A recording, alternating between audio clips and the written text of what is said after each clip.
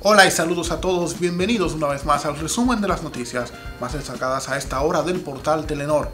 Antes de iniciar les invito a que se suscriban a nuestro canal de YouTube y den clic a la campanita de las notificaciones. Empezamos de inmediato con las noticias a nivel nacional. A raíz de que en la mañana de este lunes se informó que unidades militares del Ministerio de la Defensa asumieron el control de manera momentánea de la Penitenciaría Nacional de la Victoria, lo cual forma parte de una operación que se realiza para ocupar posibles armas de fuego y, y blancas dentro del recinto carcelario, a los reos solamente se les ha dejado el colchón para dormir. De acuerdo con informaciones obtenidas por Listín Diario, a un gran número de los encarcelados se les ha despojado de muchas de sus pertenencias. La operación se mantiene en vigencia desde las primeras horas del lunes y ha afectado el desenvolvimiento rutinario de los residentes de la zona cerca del recinto carcelario, quienes han tenido dificultad para entrar y salir de sus viviendas.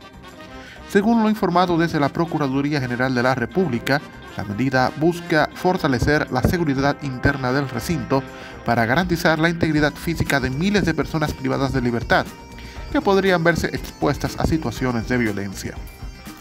La Oficina Nacional de Meteorología emitió este lunes una alerta meteorológica para 13 provincias debido a posibles crecidas repentinas de ríos, arroyos y cañadas, así como también deslizamientos de tierra e inundaciones urbanas, a causa de las lluvias registradas en las últimas horas en el interior del país.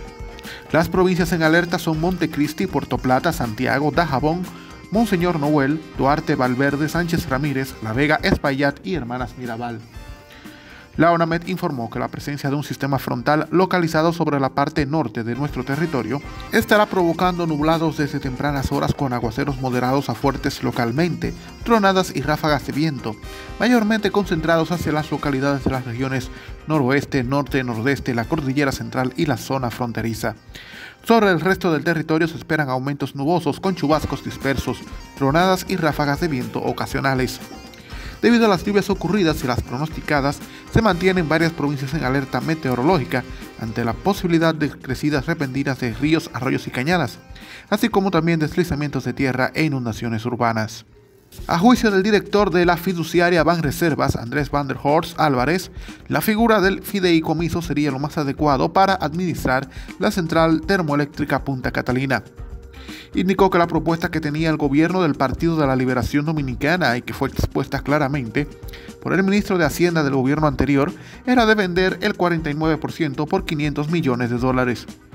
Sobre la duración del fideicomiso dijo que bajo este mismo esquema se hizo RD Vial y Ciudad Juan Bosch y que todos los fideicomisos públicos y privados también normalmente son a 30 y 40 años.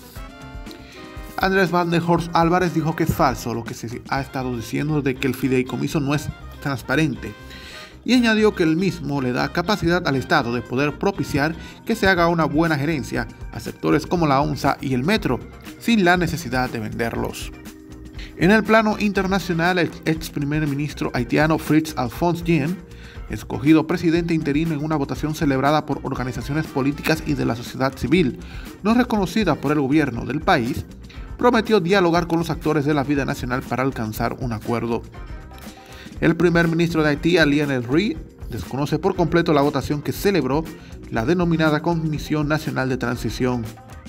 Jean aseguró que no hay ganadores ni perdedores, al considerar que se podrá hablar de ganar cuando se encuentre un consenso nacional. En ese sentido, el político afirmó que ese será el momento cuando se garantice la seguridad de todos los ciudadanos para que puedan circular libremente por el país. Planteó en ese orden la organización de unas buenas elecciones democráticas en el país, en las que todos los candidatos puedan circular por todas partes para hacer campaña. Reguladores de salud de Estados Unidos otorgaron el lunes la aprobación completa para la vacuna de Moderna contra la COVID-19, una inyección ya aplicada a millones de estadounidenses desde su autorización de emergencia hace más de un año. La medida de la Administración de Alimentos y Medicamentos significa que la agencia ha completado las mismas revisiones rigurosas y prolongadas para la inyección de Moderna, al igual que a decenas de otras vacunas verificadas desde hace tiempo. La decisión fue impulsada por evidencia en el mundo real de más de 200 millones de dosis aplicadas en Estados Unidos desde que la FDA autorizó la aplicación de la inyección en diciembre de 2020. La agencia dio su aprobación completa para la vacuna de Pfizer en agosto pasado. En nuestra sección de farándula, en la tarde de este lunes, se confirmó la muerte de la actriz Dora Cadavid a sus 84 años.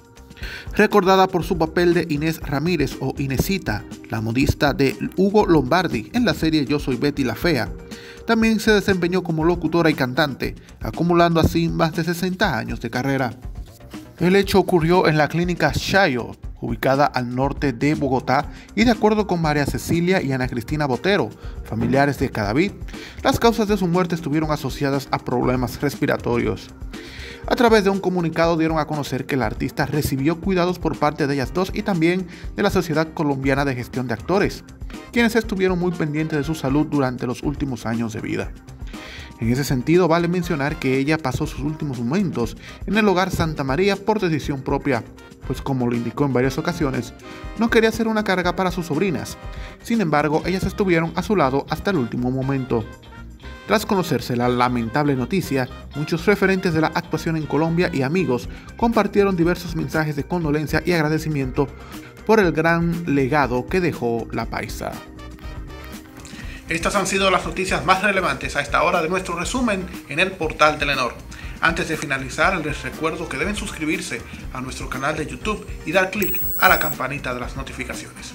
Gracias por su sintonía y será hasta la próxima.